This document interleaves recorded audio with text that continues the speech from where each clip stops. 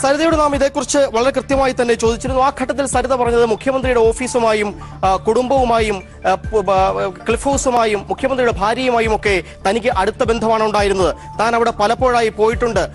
സരിത തന്നെ പറഞ്ഞ പ്രധാനപ്പെട്ട കാര്യമുണ്ട്. ഒരിക്കൽ മുഖ്യമ മുഖ്യമന്ത്രിക്ക് കാലുവേദനയായിരുന്നു. ആ സമയത്ത് താൻ മുഖ്യമന്ത്രിയുടെ കാൽ തിരുമ്മി കൊടുത്തിട്ടുണ്ട്. ഇതൊക്കെ അവിടെ ഉണ്ടായിരുന്ന ചില ആളുകൾ കണ്ടതാണ്. അത്തരത്തിൽ കുടുംബവുമായി അടുത്ത ബന്ധമുണ്ടായിരുന്ന ആളാണ് താൻ. ആ ഒരു ബന്ധവും താനുമായുള്ള അടുപ്പവുമാണ് മുഖ്യമന്ത്രി ക്ലിഫ് ഹൗസിൽ വെച്ച് ദുരുപയോഗം ചെയ്തത്. മുമ്പേ നാം ആ ഇന്റർവ്യൂവിൽ ചോദിച്ചതുപോലെ തന്നെ ക്ലിഫ് ഹൗസിൽ വെച്ച് മുഖ്യമന്ത്രി തന്നെ ശാരീരികമായി ചൂഷണം ചെയ്യും എന്ന് എങ്ങനെ പൊതുജനം വിശ്വസിക്കും എന്ന് ചോദിച്ച ഘട്ടത്തിലാണ് താൻ ഈ കത്തിൽ പറഞ്ഞതൊക്കെ സത്യമാണ് എന്ന് സരിത ആവർത്തിക്കുന്നത്. ജോഷിയിലേക്ക് മടങ്ങി വരാം. ഇപ്പോൾ ശ്രീ വി എസ് സുനിൽകുമാറും ഒപ്പം തന്നെ ശ്രീ കെ സുരേന്ദ്രനും ടെലിഫോൺ ലൈനിൽ ചേരുകയാണ്.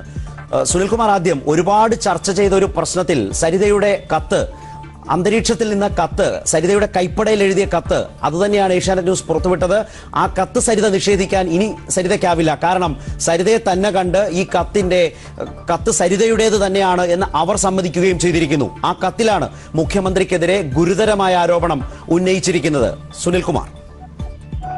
ഏഷ്യാനെറ്റ് പുറത്തുവിട്ടിരിക്കുന്ന ഈ വിവരങ്ങൾ വളരെ ഞെട്ടിപ്പിക്കുന്ന കാര്യങ്ങളാണ്. ഞെട്ടിപ്പിക്കുന്നതെന്ന് പറഞ്ഞാൽ ആദ്യമായി കേട്ട് ഞെട്ടുന്നതുകൊണ്ട് ഞെട്ടുന്നതല്ല. ഈ കാര്യങ്ങളെല്ലാം നമ്മുടെ നാട്ടിലെ ചർച്ചാ വിഷയമായിരുന്നതും നേരത്തെ നിങ്ങൾ തന്നെ പോലെ അന്തരീക്ഷത്തിൽ നിലനിന്നിരുന്ന ഒരു കാര്യമാണ്. അപ്പൊ ഇതിന്റെ ഏറ്റവും പ്രധാനപ്പെട്ട തെളിവെന്ന് പറയുന്നത് ഈ വിഷയം എഴുതിയിരുന്ന അവരുടെ കത്താണ്. ഈ കത്ത് പുറത്തു വരാതിരിക്കാൻ വേണ്ടി നടന്ന കള്ളക്കളികളും അധികാരത്തെ ഉപയോഗപ്പെടുത്തിക്കൊണ്ട് നടന്ന നിരവധിയായ ഇടപെടലുകളും കേരളത്തിന്റെ മനസാക്ഷി ഞെട്ടിപ്പിക്കുന്ന രീതിയിലാണ് ജനങ്ങൾ കണ്ടിരുന്നത്. ഇന്നത് പുറത്തു വന്നിരിക്കുന്നു എന്ന് വരുമ്പോ അതിന്റെ മികച്ചതി കൂടി ബോധ്യപ്പെടുന്ന സാഹചര്യത്തിൽ നമുക്ക് നമ്മുടെ രാജ്യത്തെ ജനങ്ങൾക്ക് കേരളത്തിന് തല ഉയർത്തിപ്പിച്ച് നിൽക്കാൻ പറ്റാത്ത ഒരു ഗതികേട് വന്നിരിക്കുകയാണ്. കാരണം മുഖ്യമന്ത്രി അടക്കമുള്ള ആളുകളെ പറ്റി പറഞ്ഞിരിക്കുന്ന ആരോപണങ്ങൾ അത് ശരിയായിരിക്കരുത് എന്നാണ് എല്ലാവരും ആഗ്രഹിക്കുന്നത്. പ്രതിപക്ഷത്തിലുള്ളവർ ആ രൂപത്തിലുള്ള ആരോപണമാണ് എന്നുള്ളതുകൊണ്ടാണ് സൂചിപ്പിക്കുന്നത്.